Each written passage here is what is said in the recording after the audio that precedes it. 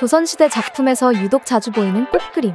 조선시대 사람들은 어떤 꽃을 사랑했을까요? 상설 전시실 일존의 작은 전시실에서 조선시대 사람들이 사랑한 꽃 시리즈 전시가 열리고 있어요.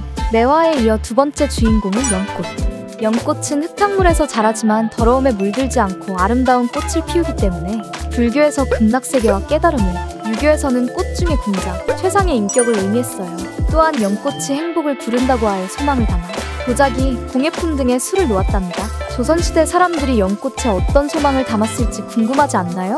물고기, 새, 학 등 다양한 동물과 어우러진 아름다운 연꽃 작품은 11월 12일까지 만나볼 수 있습니다.